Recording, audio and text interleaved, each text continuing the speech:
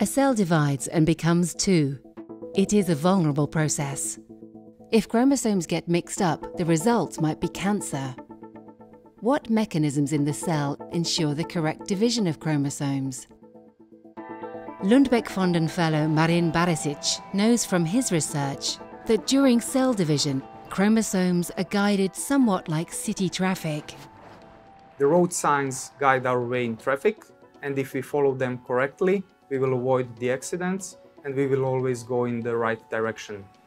Previously, together with my colleagues, I identified the chemical signals inside the cell which are guiding the chromosomes in a similar manner. Cell division, mitosis, is complex. At the beginning, the chromosomes lie scattered around the nucleus of the cell.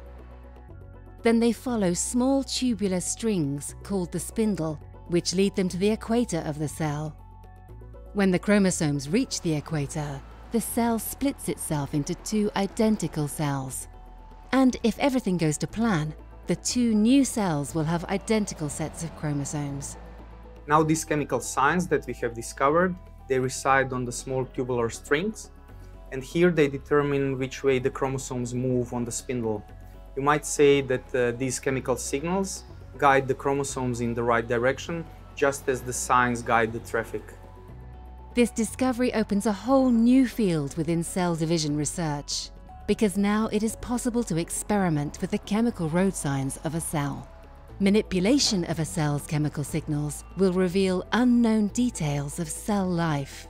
Such experiments can lead to a better understanding of what happens when chromosomes are misguided during cell division. My hope is that uh, this grant from Lundbeckfonden will lead to better understanding the processes that might lead to cancer and that we will ultimately be able to use this knowledge to help preventing or treating the disease in future.